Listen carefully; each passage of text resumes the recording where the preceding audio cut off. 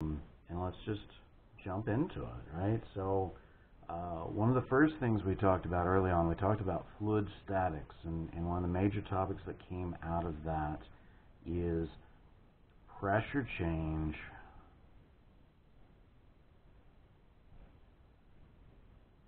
within a column of fluid. So anytime I've got a fluid, right, um, let's say that I've got right, some kind of, I don't know, fluid flow stream or lake or river or anything like that, any kind of fluid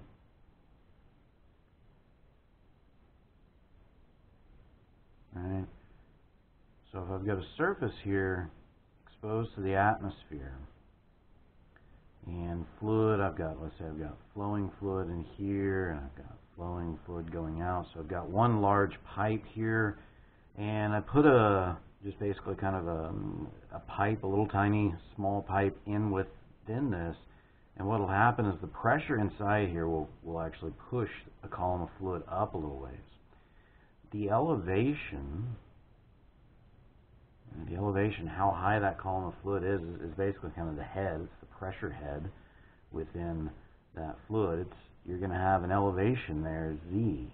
Okay, well, what you have down here is, you, let's say we call this Z1, you call this Z2, and, and the distance in between them is delta Z, if you will.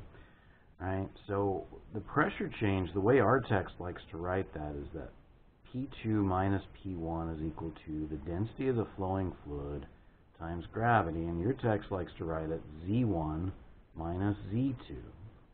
That's where we're referring to Z as elevation. That means Z is going to increase in the up direction.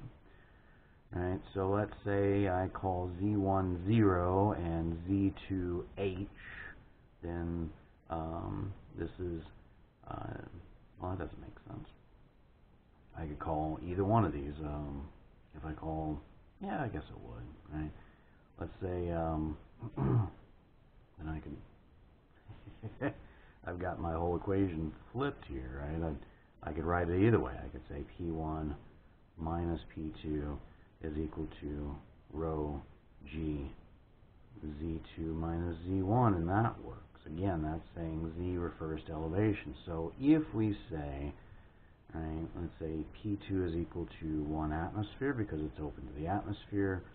Uh, let's say Z1, we establish Z1 to be 0 and Z2 to be H, the height of that column of fluid. Again, if, if this is my zero point, then everything above that is a positive value. And so if I've got the height, right, delta Z is equal to H, right, and I say if this is 0, this is a positive h because it's above the zero point. And then what happens then is that P1 is equal to 1 atmosphere plus rho GH in this case. Right? Taking this equation, putting this all together. Okay? Now, there is this concept of a gauge pressure, P gauge. The gauge pressure is what we call the difference between the absolute and the atmospheric pressure. So this would be an absolute pressure here, right? Um, this is the actual pressure right here at point 0.1 because the actual absolute pressure at point 2 is 1 atmosphere. So that moves over here. So this is 1 atmosphere. Okay? So the absolute pressure at point 0.1 would be this atmosphere here plus the pressure increase to get to this point here. Again, pressure is going to increase as we move down into a column of fluid. As the elevation decreases, pressure will increase. How much does it increase? It increases based on the, the what we call the specific weight of the fluid, density times gravity, and then directly proportional to the elevation change within the fluid. So in this really simple example, the absolute pressure right here at point 1 is going to be this atmosphere here plus the pressure caused by this column of fluid, rho GH.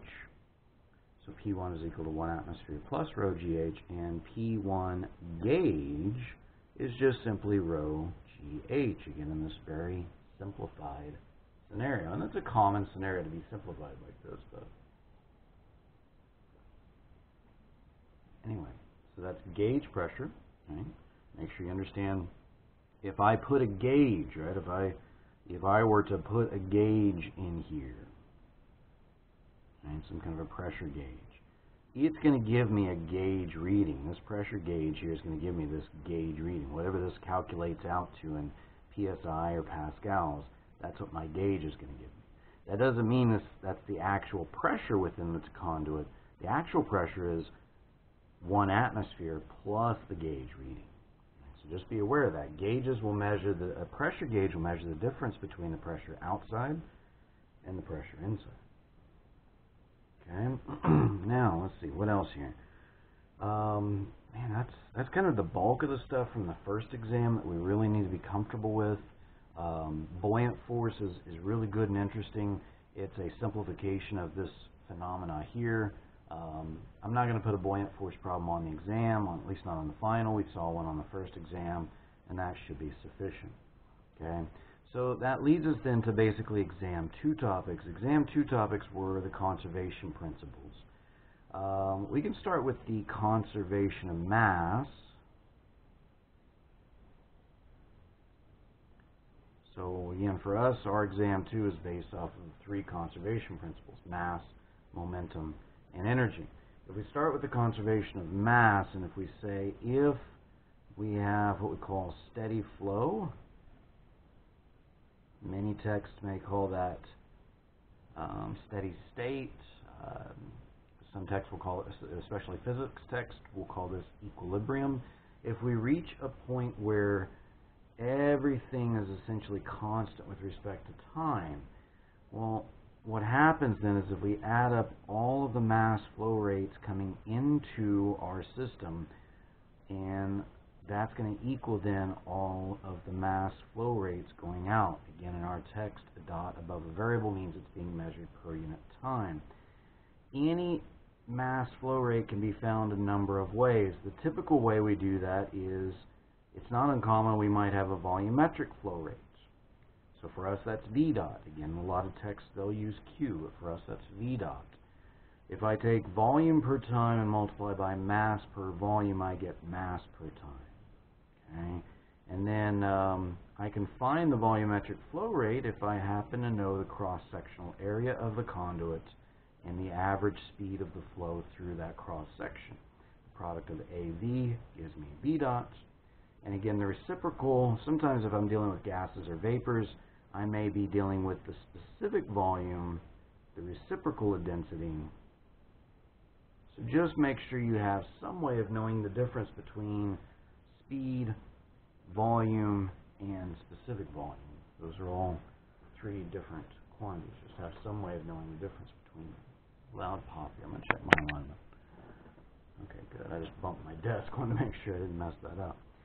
Okay, so everywhere I've got mass coming into the system, um, I add all that up, and I can set that equal to all the mass going out. If it's like this up here, and I've got one inlet and one outlet, that's easy. Then it's just m dot 1 is equal to m dot 2, and, um, well, not 1 and 2. Let's say a and b. So m dot a is equal to a m dot b, and there's no reason to distinguish it.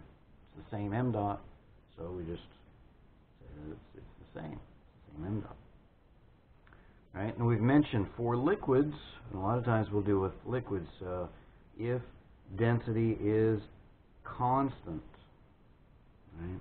If density is constant, then V dot is equal to V dot. How do we know that? Well, we know that because if I've got one inlet and I've got one outlet, we'll call it 1 and 2, and again we'll just call it m dot. That means that rho 1 A1 V1 is equal to rho 2 A2 V2. And if the density is the constant, as will be the case with liquids, right, then AV1, A1 V1 is equal to AV2, A2 V2, which means that the volumetric flow rate will be the same at both 1 and 2 if the density is constant. Okay? Again, you can normally make that assumption with liquids. We've done that throughout the semester, but it's important to understand where that comes from. This is a simplified version of the conservation of mass. Conservation of mass is always true. We didn't get time this semester to talk about compressible flow, where the density is not typically constant. If I'm dealing with a gas or a vapor, it's not necessarily a safe assumption that density is constant. But If I'm dealing with a liquid, safe assumption most of the time, unless we unless we're seeing a big temperature change, and I'm not assuming you guys have had thermo or heat transfer yet. In fact, this is most likely a prerequisite for heat transfer. Um, so a big temperature change is what's to what it's going to take to change the density, and I'm not assuming you've had that yet. So most of the time, if I'm dealing with a liquid, this is true, but this is always true. The total mass flow rate in is going to equal the total mass flow rate out, so long as we have steady flow. I've got one inlet, one outlet, that simplifies here. If density is constant, that simplifies there. Okay? All right, that's conservation of mass as we normally would apply it in a simple fluids class. Now, um, myself a little more space there. There we go. This is page one. Page two. Keep myself. I'm going to have probably several pages here, so let's see if I can keep organized. Okay. Um, the next concept, the net. So again, exam two topics were the conservation principles, and the the next conservation principle is essentially conservation of energy, or often we'll call it the general energy equation. I've sometimes heard it referred to as the field equation, the general energy equation. All right, I'm almost at a stopping point there. That's that's a decent stopping point rather than having to break this video up. So let me stop there. I'll be right back with you guys. Loud pop.